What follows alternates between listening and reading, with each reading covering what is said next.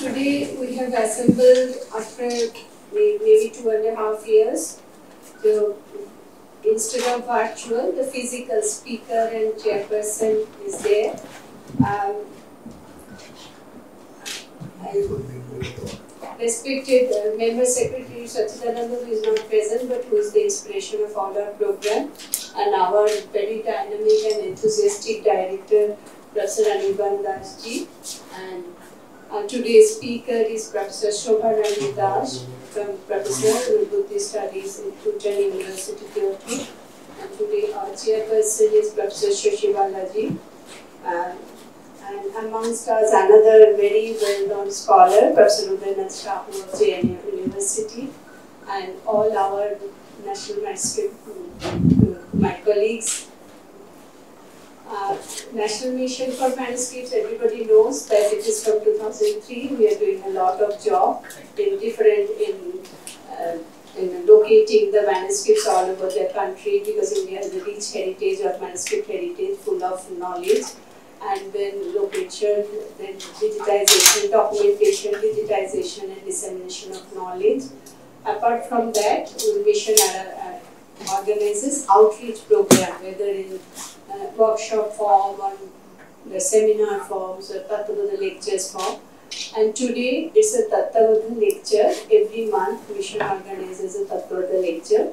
Last two, two and a half years we are doing the virtual form. Speaker and chairperson were virtual. And today after two and a half years we are having the physical presence of everybody.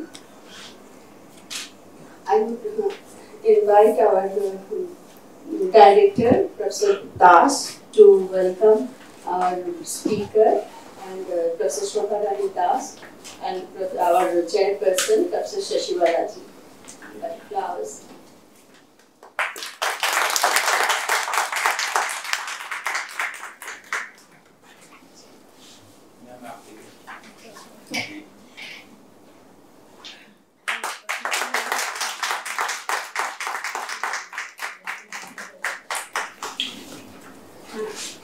I would uh, like to call uh, to Meenu to welcome them with Angavastra on behalf of NNL.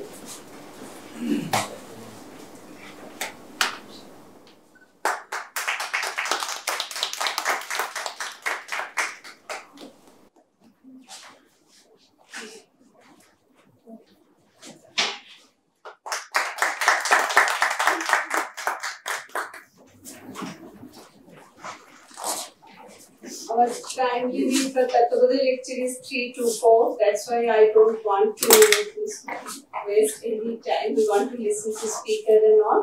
Little bit of I will talk about speaker and chairperson. Uh, because there's so many things to say about Professor Shobharani Das and Professor Shashibala. Uh, Professor Shobharani Das is currently Professor Department of Buddhist Studies, Otani University, Japan. She is the chief of Otani University Collection of Buddhist Manuscripts. She is the research fellow International Buddhist Studies Project. She is the member of the board of International Academic Relations. She is distinguished professor, Watson University, Hyderabad. And her main field of research is Buddhist studies with a special focus on women and gender transformation problem. Another thing is manuscriptology with a main focus on the palm leaf manuscripts of Orissa and Southeast Asia. And uh, scholarships and awards, so many, I wanted to make it a small gist. All throughout her career as a student and thereafter she has been and thereafter she has been recognized with important fellowships and scholarships in India and abroad even scientific research grant, for creative and pioneering research work awarded by Japan Society for the Promotion of Science, JSPS.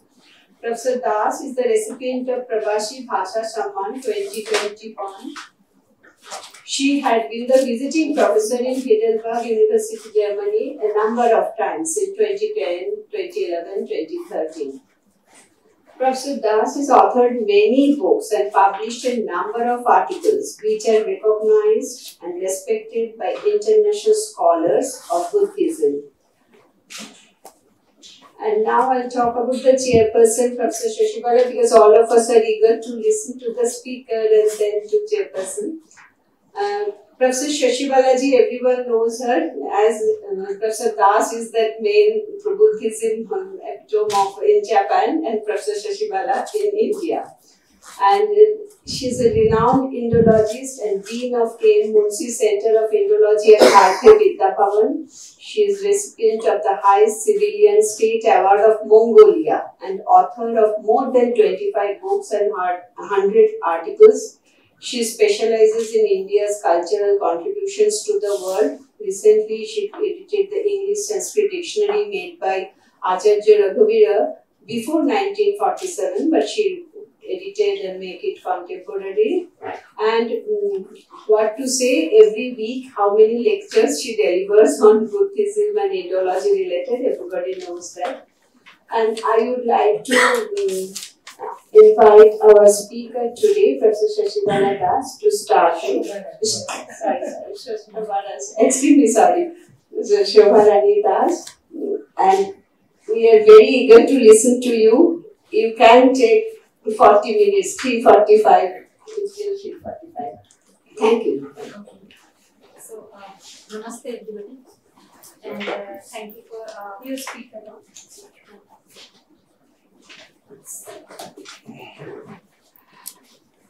And uh, thank you so much for uh, coming to listening.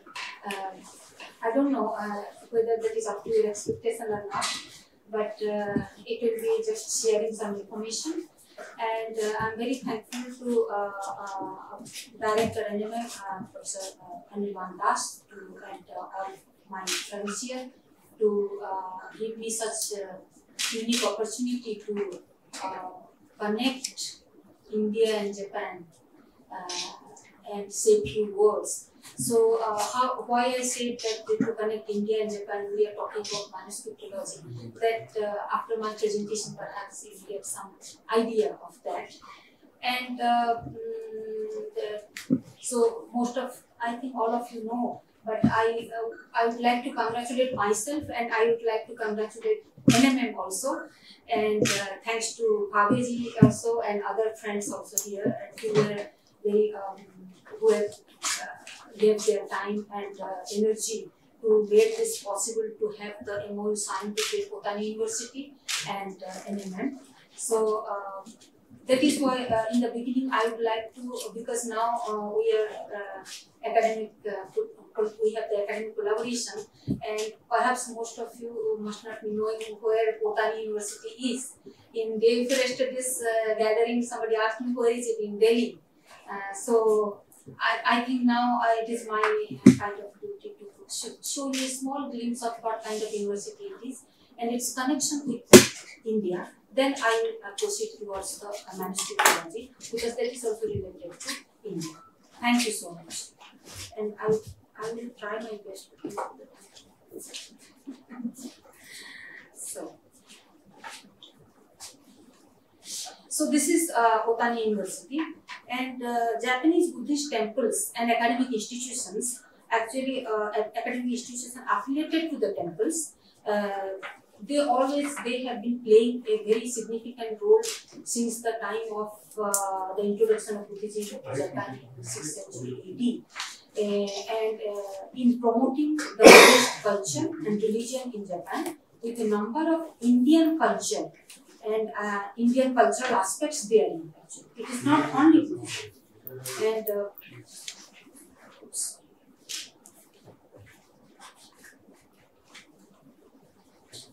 and uh, like uh, uh, one may find a number of uh, deities worshipped in Japan in their regular everyday in their everyday life, like Ganesha, Saraswati, and there are many actually. And uh, we have, with my colleagues, we have been working on uh, and Saraswati since the last eight years and have guidance on them. And perhaps if there is a chance in future, I would like to share that also with all of you. And, uh, and now I come to Otani University. So this is the main building and the oldest building, sur- oldest surviving building of Otani University. And it doesn't look at all like Japanese building definite architecture as you can see. So it was established actually uh, in uh, in 1665, and uh, so Otani University, one of such noted institutions uh, that helped in the promotion of Buddhism and Indian culture in Japan, and it has been going there since the more than last 350 years. And it was established as a small seminary, a very small seminary by the Honganji, the denomination of Shin Buddhism. Pure Land uh, Buddhist uh, sect in Japan. And subsequently, it was reorganized as a modern university in 1901. So recently, we have celebrated uh, 128 years of our modernization. And but now it is just after 1901, it is just like any other academic university having various disciplines, not only restricted Buddhism, but Buddhist spirit and thoughts are there in the base of every teaching, for the, at least for the first year students, even if they are from the computer science department. So uh, this is one of the photos I got from our archives in early 1900s, how it was. And uh, this is in actually. And this is Higashi temple in Kyoto. And uh, this is the main gate. So when you go through this main gate, you uh, see the main uh, hall, uh, sorry, main uh, hall, yeah, main hall. And when you go here uh, straight inside, then you find the main shrine there. So uh, pri- priest Shinran is the founder of that in uh, 14th century, and uh, since then it has been uh, disseminating education and religion and uh, I should say philosophy in uh, Japan. And you'll be uh, happy to know that Otani University has a long-term relationship with India and some of the national figures also visited uh, University. You can see uh, the same red building that I showed you in front of that uh, is in 1924.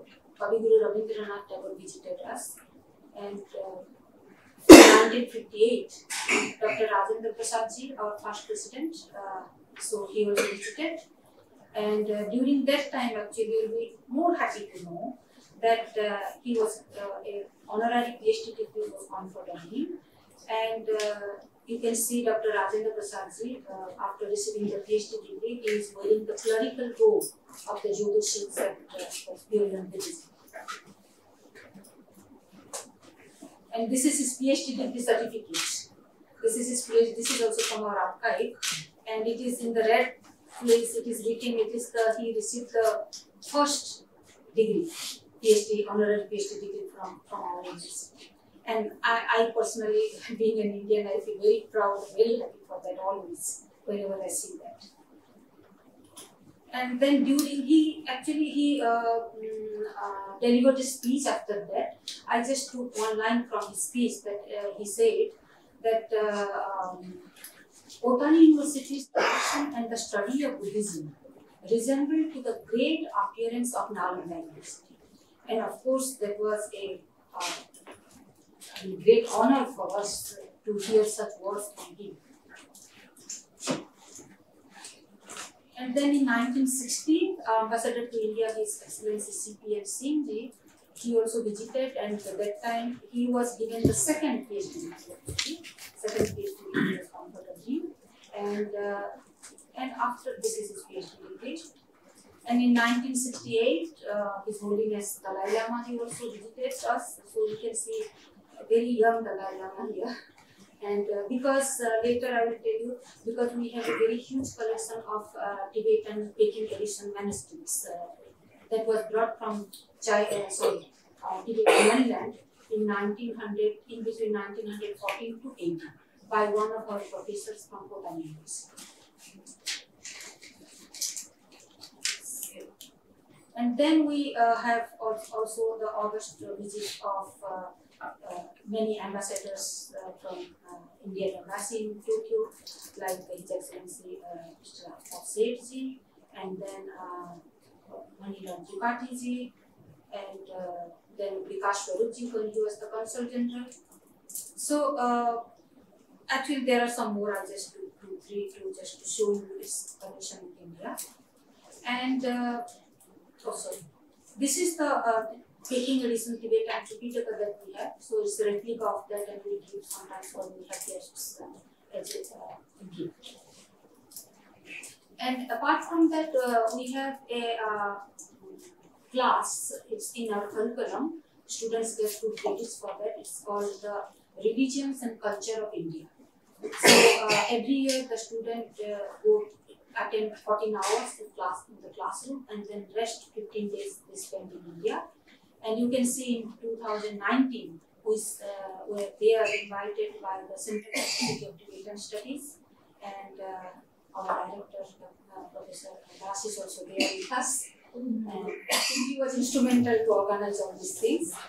And then our students also got some uh, sample classes of spoken Sanskrit from him and during the, uh, our stay there for two days. And this September we will be visiting again after the pandemic. So, uh, so, and uh, the, but the uh, most glorious uh, day came to us uh, in 2022, um, March. When We were given the uh, award for the promotion of Buddhist studies, and the first award declared by ICCR Government of India to receive by foreign countries. And uh, our Vice Chancellor uh, is, has been uh, that uh, by our Ambassador of Japan. And so this is the just a glimpse of the award ceremony. And Madam Ambassador is also here, and our sister is there. And then during that time, they enshrined one Buddha statue in our university. So uh, it was made in India and it was all the way sent to the university and just in front of the library it has been enshrined. So uh, this the selection of Otani University as the first recipient of this global award is needless to say, as we have already seen of that, the result of more than 350 years of education and research based on the spirit of Buddhism while working towards an understanding of Indian thought and culture. So it's not only uh, Buddhism, but uh, giving uh, in the base it is always Indian thought and culture, and that is why we send students to come to India, know Indian, to, to feel with their five senses Indian culture and language and people, then only they can understand why Buddhism prospered in India. So that's the uh, main reason for that and uh, so accumulated over the last more than three centuries since the university's inception. So this award has given us uh, actually this with this award it was I should say it was not over with that it was a new beginning for us in last year it happened. So with this award it, has given us a great responsibility responsibility to carry on this legacy and further develop the tradition of the university connected to and our manuscript research project, about that I will tell you later. Uh, so it is a designated research project by the Vice, Chancellor and Vice Chancellor after this award ceremony he declared that that we should have one special designated research project only on Buddhist manuscripts because they are all written in Pali language and other in Sanskrit and uh, Pali language and we have Tibetan of course uh, as I said in 1914. So uh, this, uh, uh, this, this research project is uh, to fulfill a part of this great responsibility of uh, receiving this award. And uh, Otani University has a rich collection of palm and paper manuscripts covering a wide range of languages, scripts, and texts, including Tibetan, Pali, Sanskrit, classical Chinese, classical Japanese, and there are some other. So. Uh, and we have some Mongol, uh, some scholars who are working on Mongolian Buddhism also and inscriptions. They are working most of and excavations also, Buddhist excavations. And uh, among them, the Southeast Asian palm manuscripts written in Pali that draw the attention of the scholars, and it is one of the largest collections in Japan. So uh, the manuscripts are written in Pali language and uh, in different ancient uh, uh, scripts like Khmer, Burmese, Mon, and Lanna, and Sinhala.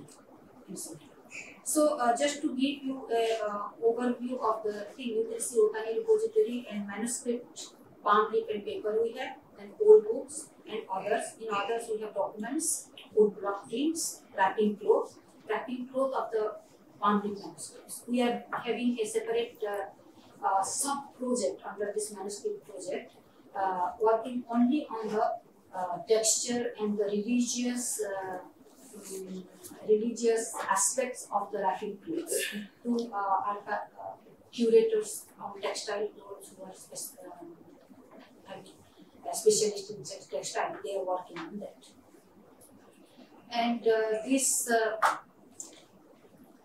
so uh, here you can see this Pandit manuscript that I just told you that uh, Khmer, Mon, Burmese, Sinhalese and we have.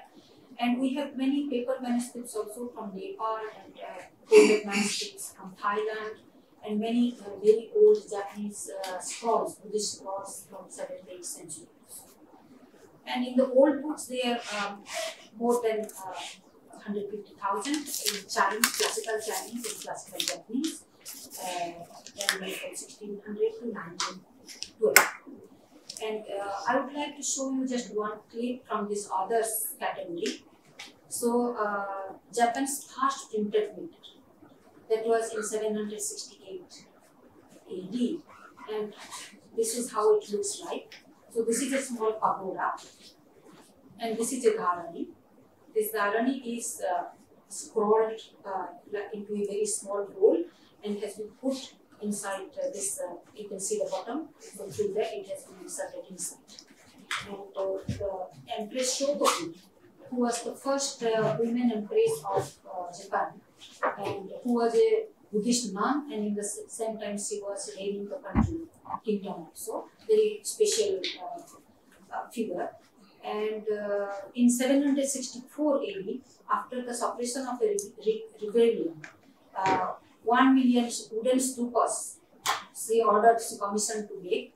So each one containing a dharani prayer inside it, with the belief that it would eliminate the sins, sins they have uh, killed many people in the war and to suppress the uh, rebellion, and to help to earn lots of merits and maintain the security and peace of the kingdom of the empire. So that was the main reason for that. And this is our museum where we display uh, these uh, manuscripts. Uh, sometimes uh, we have uh, projects on that.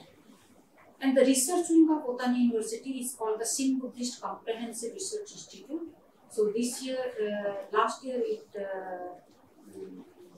we celebrated the 40th uh, year of its establishment and uh, it has many uh, designated research projects going on. And this uh, Otani University Collection Buddhist Manuscript Research Project is just one of that. The newest one, the most recent one. So I will show you some of the uh, uh, from our repository. So this is Mahabodhi 16th to 17th century, and uh, in Singhal. It is in Pali language, but Singhal And uh, so then we have uh, Pra- Prasannapada, the commentary to Madhyamika Karika, Arjuna of uh, Nagarjuna, and uh, this 17th to 19th century. Perhaps uh, Professor uh, Das can give us some new dates. We are not sure. They are all from Nepal. We have got them from Nepal. And uh, then Lalita Vistara also we have. That is 18th to 20th century. So and as I told you, uh, the uh, ambassador of India was getting this gift of this painting uh, a replica of this uh, Peking Tibetan manuscript. Sorry. So there we have both. Yeah, and uh, many extra canonical texts.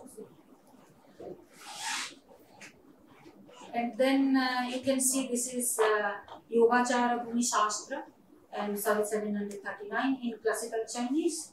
So uh, actually, we whoever uh, studies uh, Buddhism in Japan, we must learn classical Chinese because uh, the Sanskrit manuscripts were were they were damaged. There are many reasons they say intentionally some are intentionally some are by the fire. anyway.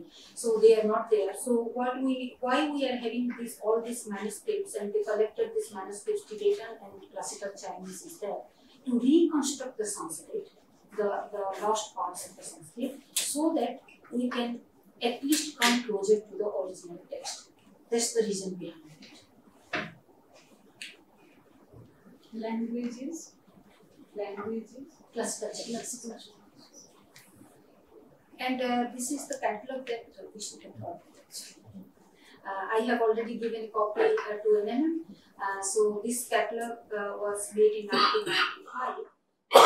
Only the palm leaf manuscripts, around uh, 900 entries roughly left here, and uh, only the palm leaf manuscripts of uh, uh, Pali we have here, and in all the four uh, scripts. So, so I have taken some clips. Uh, if, you are interested, please see the colored photos from in the catalog. We have some given some of them. And this palm leaf manuscript in Khmer script we have. This is Dhamma Sangani in Khmer script.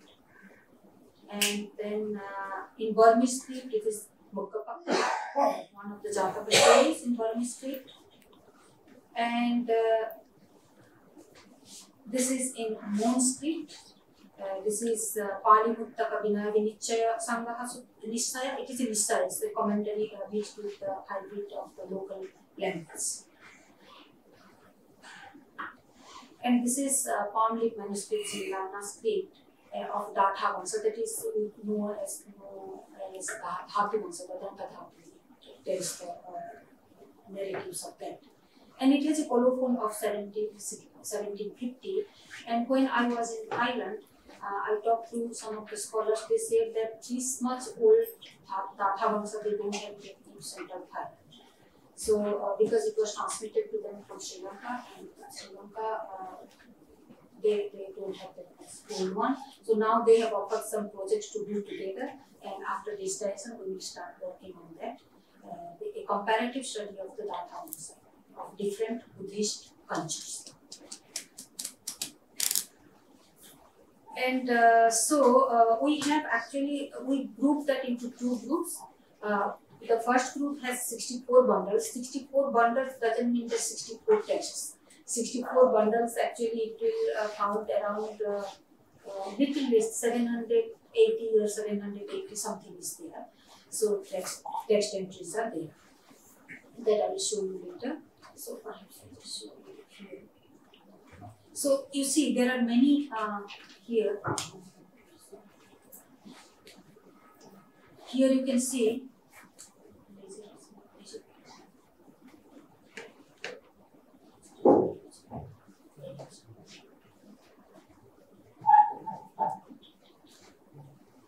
Yeah, so it is called Phuk. Phuk and this big bundle is called Mat. So in one mat they have many texts actually. Sometimes the one part of the one uh, like uh, uh, Dighanika, Golab Dighanika, sometimes you may find, or sometimes if the text is small, then they keep two or three uh, from the Tripitaka together.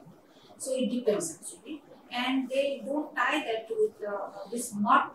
Knot is not tied, but the fruits, the small, small bundles inside you can see with the threads, uh, they are tied and they keep keep it separate. So uh, in we have most of them in script and 59 bundles and Burmese script 4 bundles, 4 part again. And uh, then Mon script we have only one.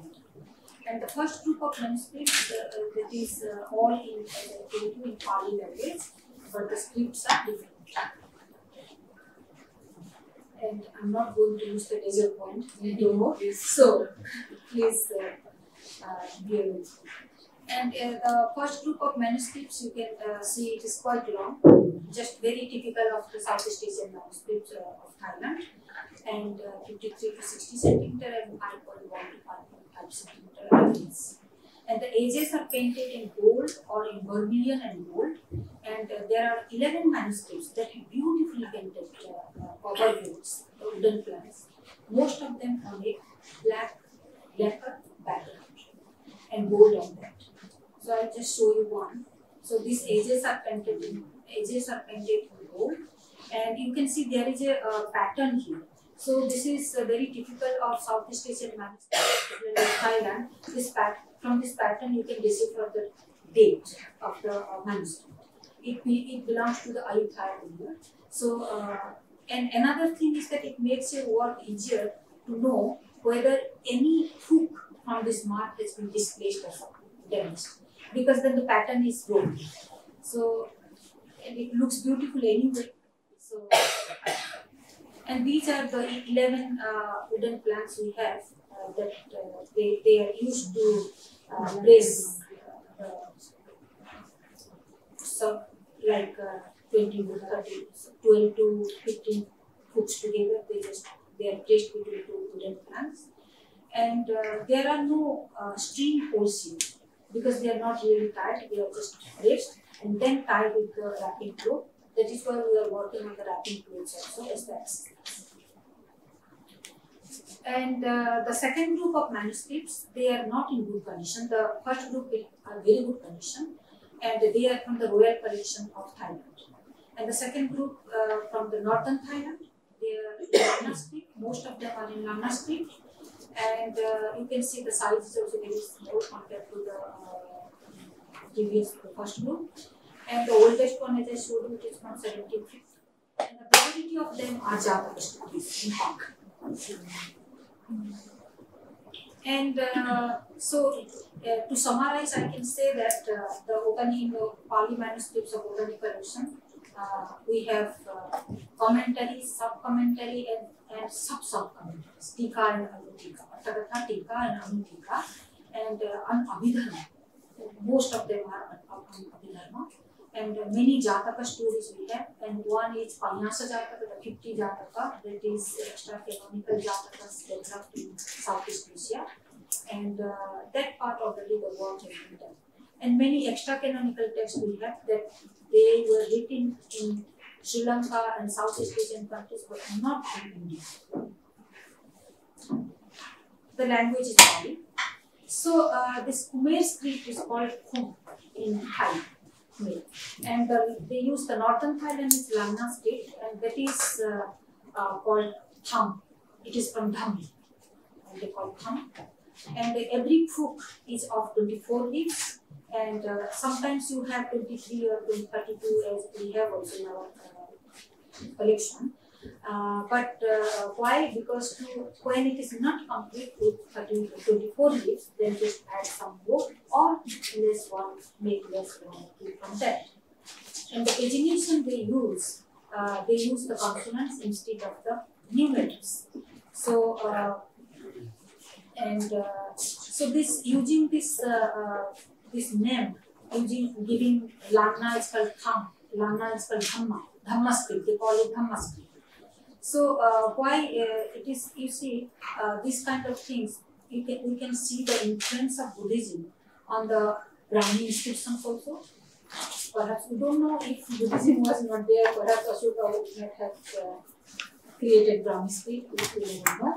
And then we know that in Sri Lanka how Buddhism has a great influence on their language and script both. So these kind of things are very much fascinating. So it is not only reading the scripts, but so many other factors are there that uh, we work on uh, while working on the manuscripts. And uh,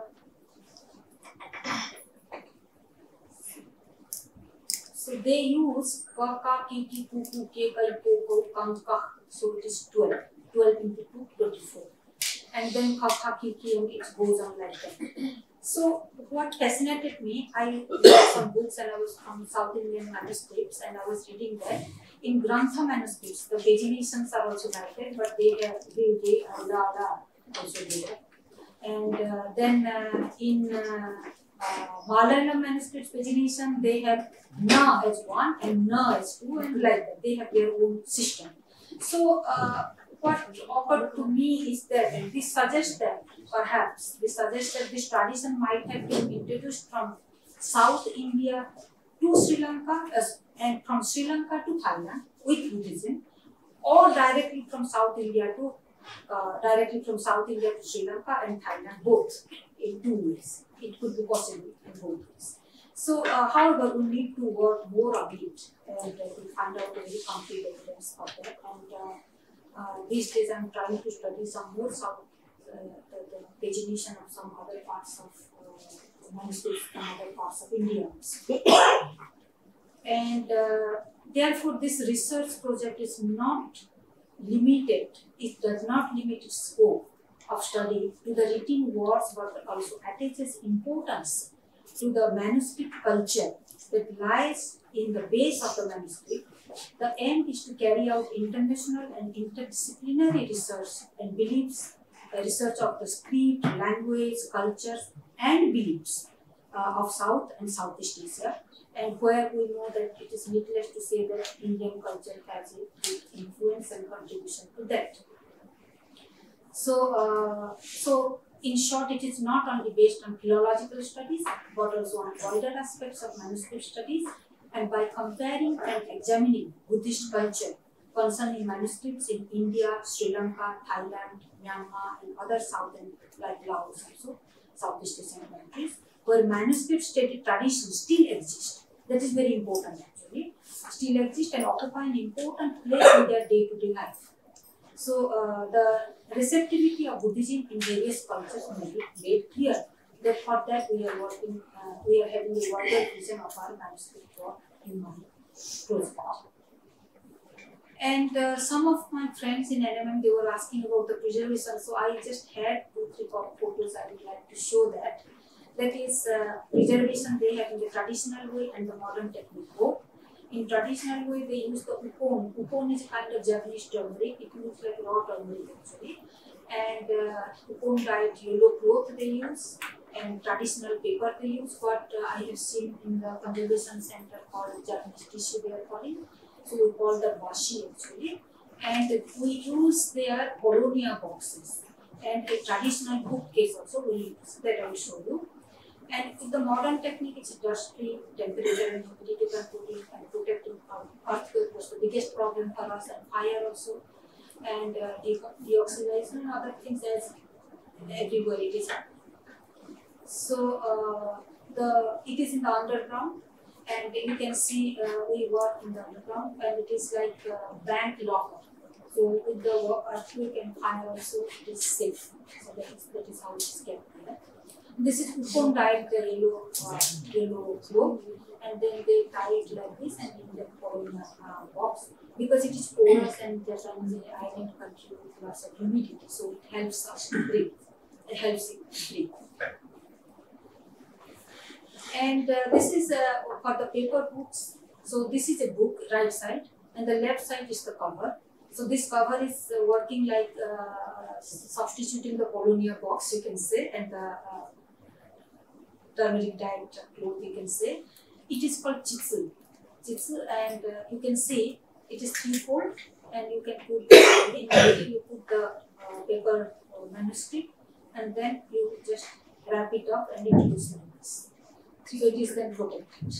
And this is made of washi as as you are using in, for uh, uh, conservation. And some of the chitsu they are very beautiful with uh, woven silk and uh, to that belongs to the nobles and the royal uh, personalities.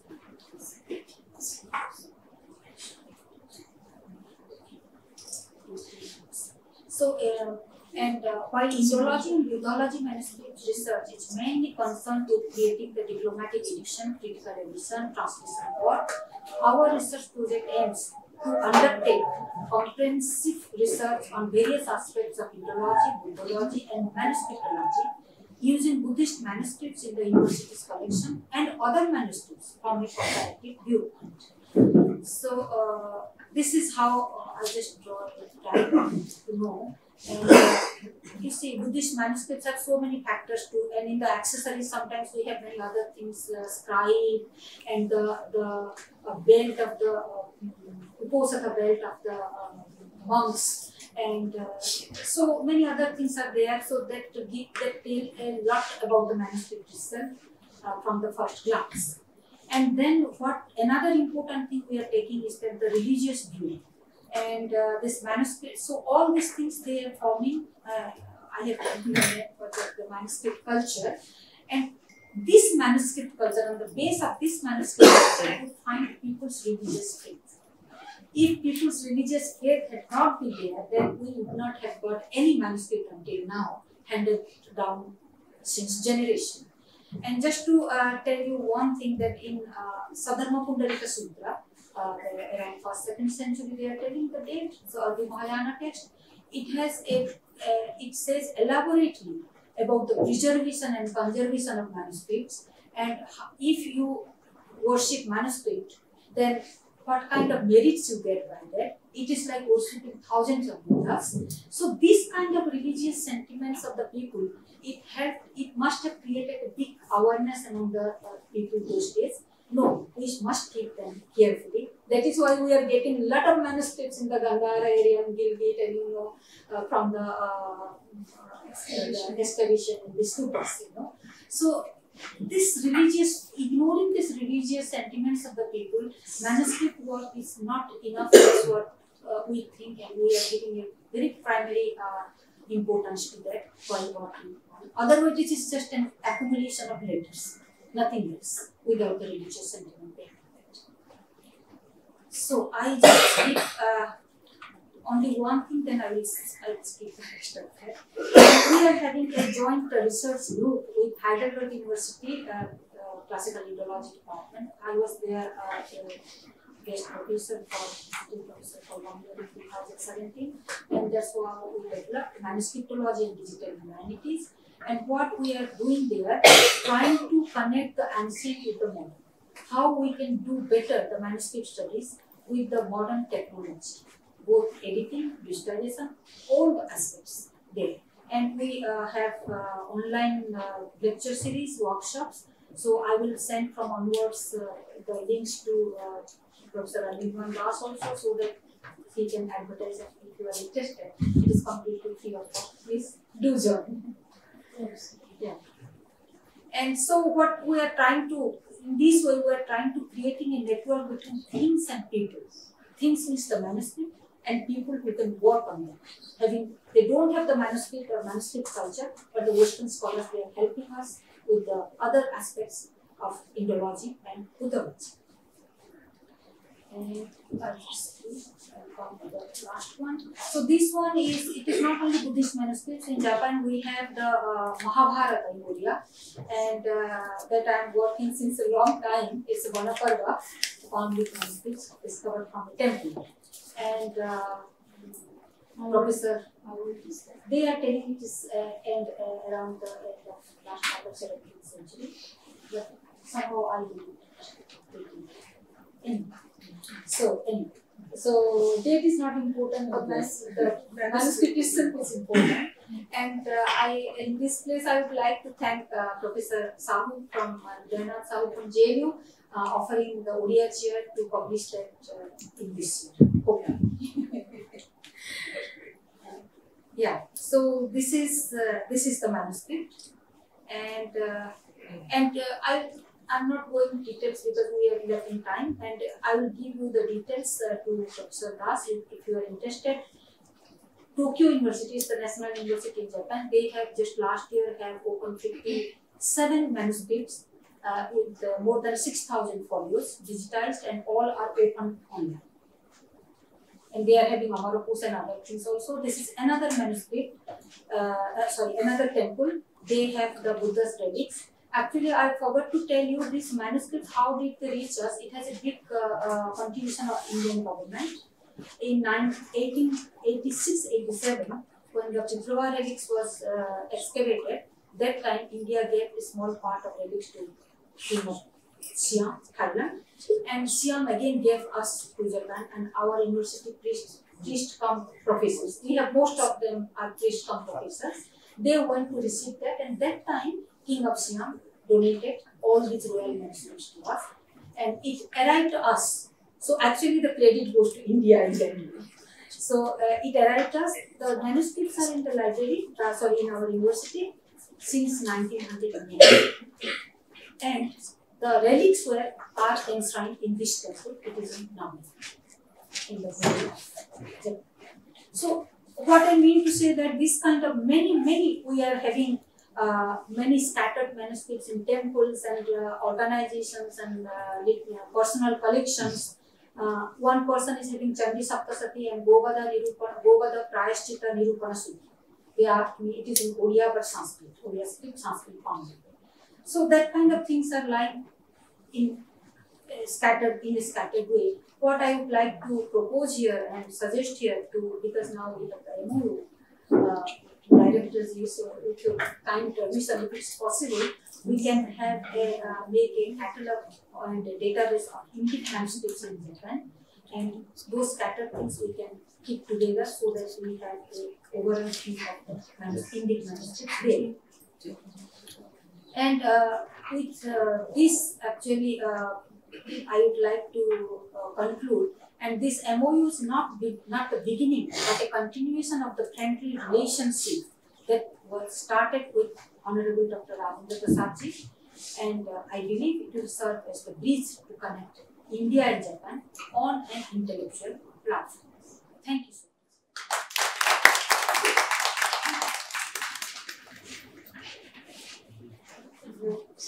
much.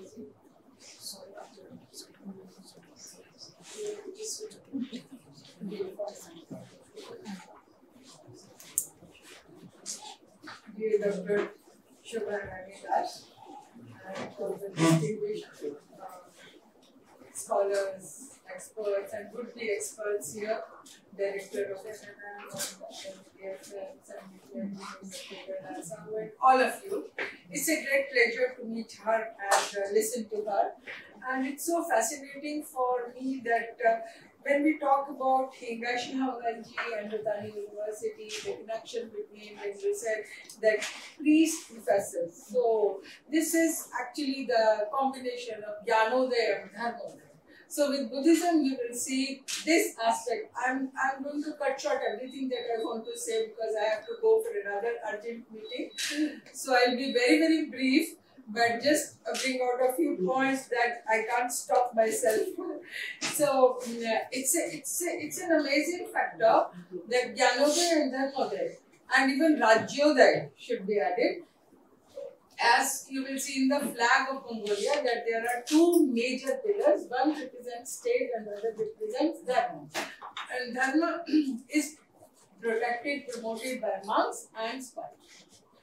So it's a great uh, pleasure to have you and to listen to you because Otani University, because the Otani expedition, they had a very good collection from Central Asia. So maybe it's not there in the in Law University. It's, uh, No, it- it's it's- scattered. they have scattered because it was the Otani uh, expedition that had brought a rich collection from Central Asia, and uh, mm, that also has to be, I think, taken care of. And uh, when she was talking about the deities, uh, I just wanted to share with you that my PhD degree is on Juniten, on the 12 Vedic deities. Uh, Indra, Ityadi. So they are still worshipped in thousands of Shingon monasteries, temples today. So and uh, the and the, when we talk of uh, India's uh, cultural relations and we talk about Shingon sect, Shingon is the closest sect because they preserve so many Vedic traditions like performing of Homa, etc. So I'm not going into the details. So when you, uh, you talked about Kubera Vaishravana and Kubera are slightly confused Yeah. in Japan. And I have a research paper on Vaishravana long, long ago I wrote it. I will And Monk Shinran, yes, she, she, she was talking about the monks. You see, one of the monks, Shinran, like this. There are so many monks in Japan who are traveling long distances, talking to people, preaching the Dharma, and their life was so dedicated to Dharma. And this is why Dharma could be preserved, not only in Japan but all over. When you looked at the a temple, uh, you see in Japan, China, Korea, a, a building for a temple and building for a government office or a palace, they have the same architectural design because initially it began, the tradition began in China that uh, the same uh, radical was used for a palace and for a temple because it was for them the same. So some even palaces were converted into temples, so I'm not going into that. Okay. So uh, Horyuji, yeah, I just wanted to share one incident with you that in Horyuji, uh, uh, the name Horyuji means Dharma Vardhana Mahavihara. That is the oldest existing temple in Japan. And the murals in its golden hall were burned. I'm not going into the details how and when, but when the murals were burned, the Japanese thronged to Horyuji crying bitterly and the minister of culture had to resign because it is the responsibility of our ministers to protect this. So this is the this is the this is the way how Japan has preserved. Presentation of uh, catalog uh, youth. I have also published the catalog of Mongolian Tanjur last year. And I will, uh, you have received a copy? Yes, we have the Okay, that's good. So I wanted to give you for many years, maybe for a few decades in the academia, it was uh, considered the Japanese manuscript of Gupta period of Prajna Paramita Hriday and uh, Ushresh Vidyadharani. There are two manuscripts in the in Horyuji monastery that were taken to Japan for promulgation of the constitution of Japan. You can never have this kind of an example that for promulgation of any constitution a Sanskrit mantra is chanted. उसकी प्राण प्रतिष्ठा की संविधान की प्राण प्रतिष्ठा संस्कृत के मंत्रों से भारत में करके दिखाई नहीं हो पाएगी तो ऐसे ऐसे बहुत सारे उदाहरण हैं जिनके विषय में हम लोग बहुत विस्तार से चर्चा करना चाहेंगे and there are a few points central asian collection as we told they are all scattered but otani expedition was brought a very good collection and uh, uh, the Sanskrit manuscripts there, mm, our uh, Central Asian collection is there in our National Museum also, but unfortunately the work that the scholars abroad are doing is not being done, unfortunately, in our country. So I just wanted to know the 768 first printed matter. Uh, what is that uh, that that is printed? Is it a Dharani? Is it? They are all Dharani. They're all that. Yeah, one million students. Oh, that I know. Because you see, जो उन्होंने आपको बताया one million stupa.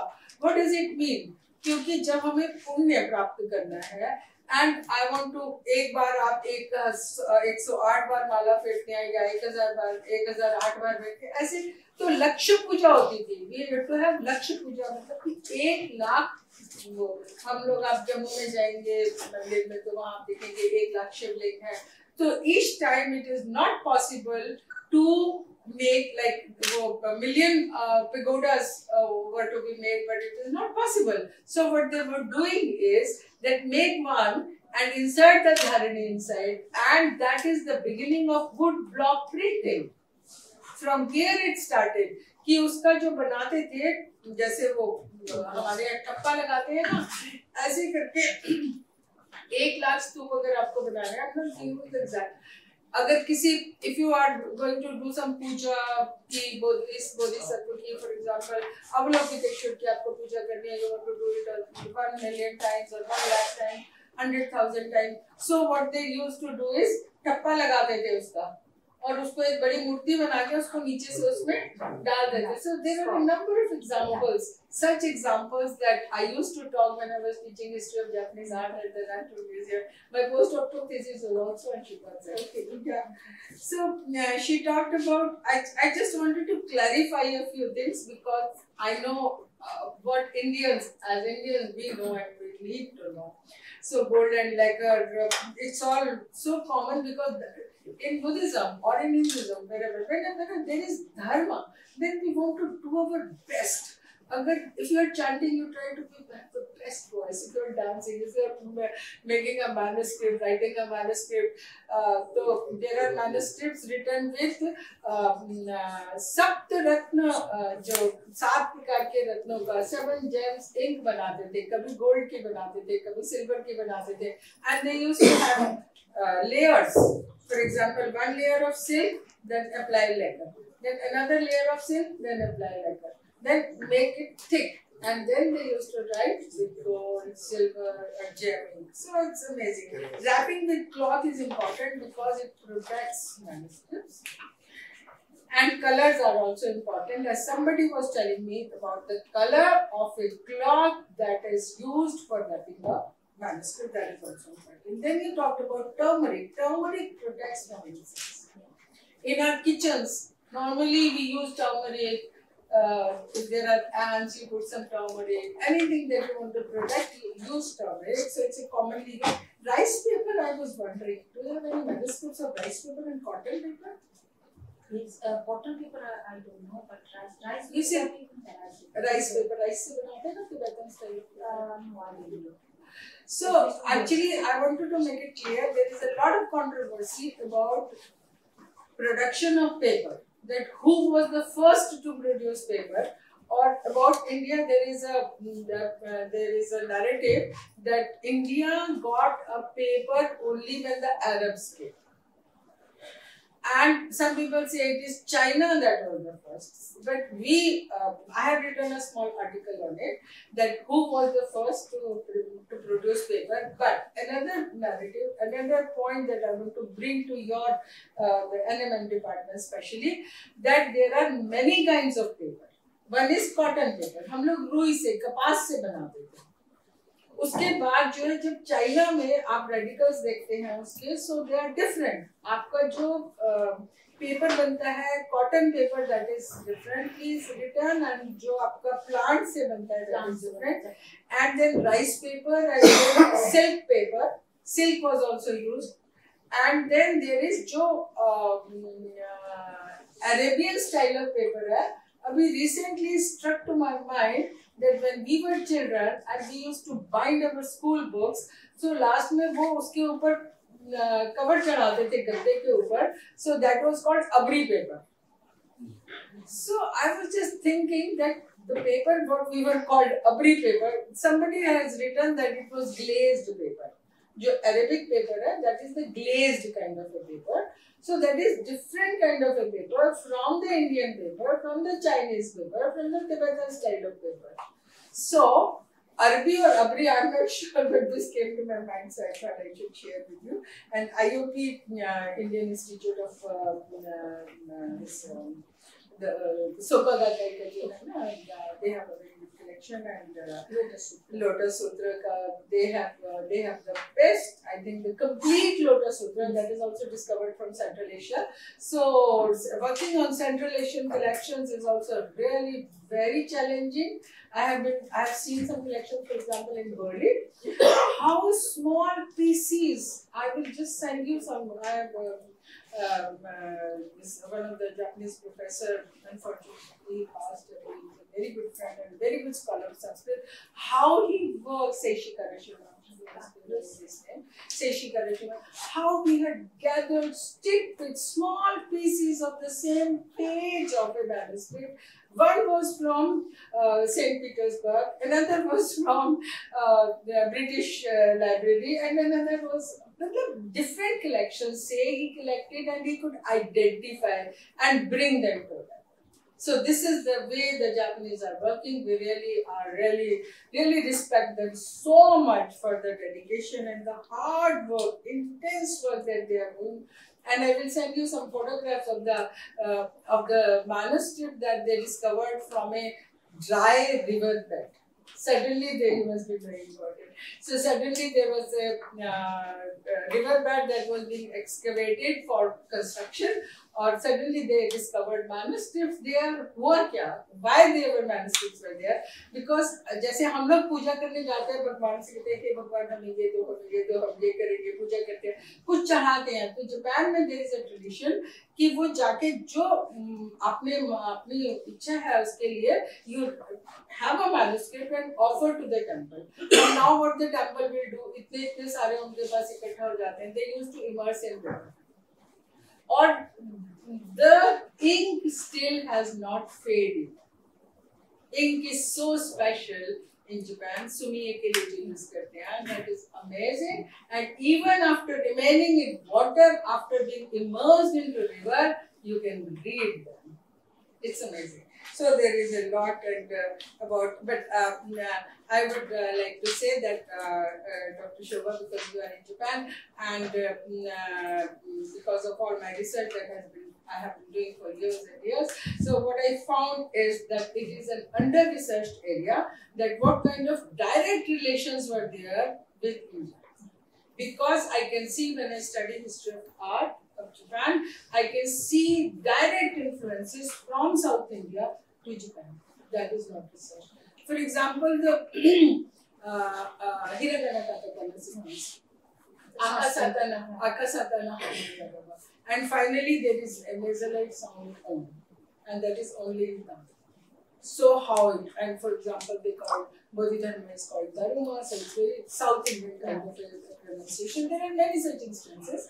So there is a lot that has to be researched from the Indian side also. There is not much that is that are doing. So hope uh, we, uh, I wish the best for preparing a catalog uh, that should soon come. Uh, it should not be delayed because it's a long, long awaited project and Indians should contribute. And they can. They have the capacity of doing. So I hope with these words, because of uh, rushing for another meeting, I'm sorry. And uh, Japan is in my heart and soul, and always uh, we shall be working on this more. Um, and uh, there is a lot that we can do together. And uh, all the best for you, and uh, please convey my regards to the university, my greetings, and uh, best wishes to the NMM and also uh, to the Otani University, being a lifelong disciple of Lokesh Chandraji. Yeah. Uh, and working on his father, how he was the first actually who invited scholars, not scholars, students from Japan. Uh, uh, Chikyo Yamamoto, Chiki- Chikyo Yamamoto, he was in and uh, we have stayed together with him and he came here and uh, we had a very good relationship Professor Chike Yamamoto. He was the first who was invited by the the name now. So, and when the institute was started, Dr. Vishnandra's Institute, International Academy of Culture, the first donation was given by a Japanese scholar. It was for 51 rupees. so with this, the institute was started and unfortunately, everything he lost um, after uh, the partition. uh, so many things, so many things got lost, unfortunately, but still, whatever we it's a great treasure. And uh, with these words, I'm thankful to you for inviting me and uh, meeting you, especially. And Uh, maybe meeting Thank you, thank you. What you, what a great congregation. See, these scholars, Professor Shobha Rani Dash. interrupt you, just uh, one minute I uh, Yeah, please. like to say uh, that please convey my regards to and Dr. Bhutani's regard to Dr. Lokesh Yeah, sure. and uh, tell him perhaps he has forward I don't know. Uh, we are translating uh, into Japanese. Me and one of my colleagues uh, is uh, Acharya Raghu Vira's expedition. Acharya. Old Okay. copy of that it was in Yeah, our yeah. library and uh, two third is already published and one third is left. Oh, great. Yeah. Great. That is the only, that is the first book on village Yeah. Yeah. And you know, when Dr. Viro was And Betty Harrison is asking us many times to uh, translate that in China and Yeah. lecture on that. But I'm very scared because I'm having still having my Indian passport. I'm very scared because of the contents, you know. And uh, uh, they now they they have this uh, section. You don't just let me know when you are in problem. Let me know. Thank you, thank you very much on behalf of National Mission for Manuscript.